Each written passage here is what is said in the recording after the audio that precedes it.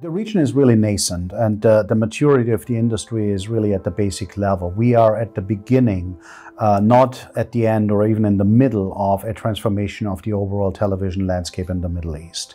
Uh, some of the things that have played out in uh, more developed markets like North America or Europe are just starting to occur here. So we are in the first of 11 innings, to use a baseball uh, terminology for a moment. Um, and uh, we're just starting to see the first foundational partners arrive and the first moves being made that will shape this industry going forward. Uh, what do I mean by that?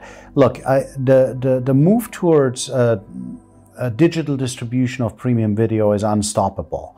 Uh, the benefits of digital distribution are simply too much and too high and too compelling for linear distribution in the long term to really continue to make sense. Of course, television is going to stay powerful, it's going to stay around, it's not going away, and there will always be markets and audiences that want linear dis distribution of premium video. But the addressability, the two-way interactivity, the trackability, the measurability of IP, IP delivered premium video is simply so attractive uh, to consumers and to providers as well that naturally everything is going to uh, evolve into that direction, even in the Middle East over time. Um, a few things are, are going to happen. One, access to the internet is going to get uh, wider and deeper and more affordable. Uh, we're seeing new technologies come uh, into play, such as 5G. We're seeing the pricing for data plans come down, access being more widely available, smartphone phone penetration still increasing in the region. So a lot of factors are making high quality access, high speed access to internet uh, much more within reach of the mass market. Uh, and that enables operators and service providers like us, obviously, to address this growing audience.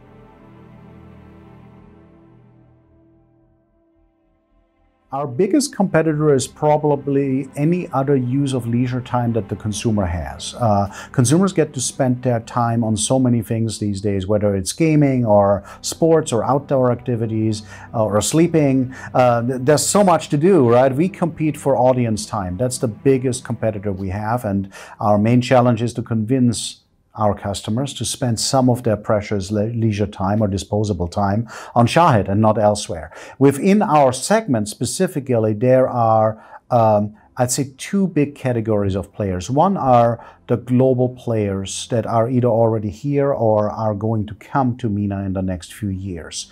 And that would include uh, big global operators like Netflix, Amazon Prime Video, um, Disney Plus, if and when it comes here. uh, I mentioned Amazon, but uh, HBO Max, for example, as well. These are big global Western players that ultimately will make their service available in the region.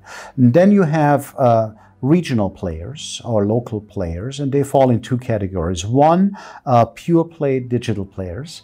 Um, I would mention companies like um, Viu, I would mention companies like Starzplay, uh, and then you have um, regional players that are similar to us in that they are either telcos or media companies that are uh, getting into the over-the-top video business. So that would include players like um, uh, um, Dubai TV or Kuwait TV that have their own catch-up platforms, uh, but also platforms like Jawwy, which is a part of Saudi Telecom, for example.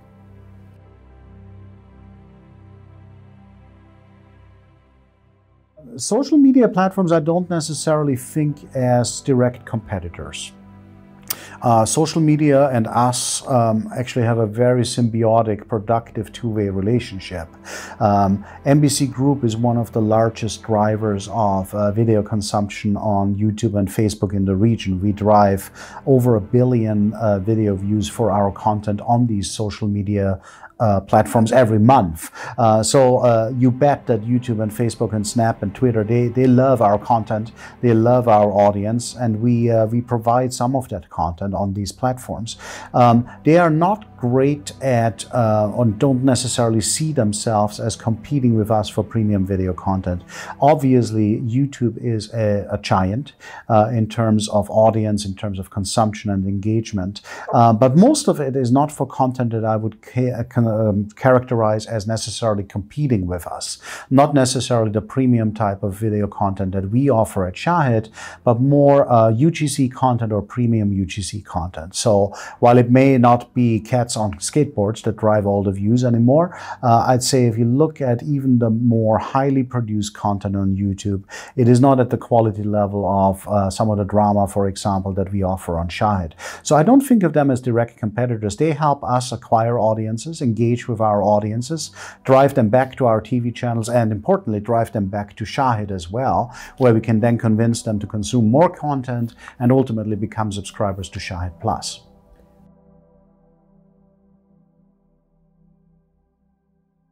years from now, I believe uh, the industry will still be in its initial growth phase. Uh, I think when it comes to subscription, we'll be at a level of about maybe 10 million total unique subscriptions for SVOD streaming services for premium video in the region, thereabouts. Um, I think the addressable market is going to grow fast, but in reality, um, this is not going to be tens and tens of millions of paid subs by 2024. I don't see that happening. 10 million maybe across all the different providers.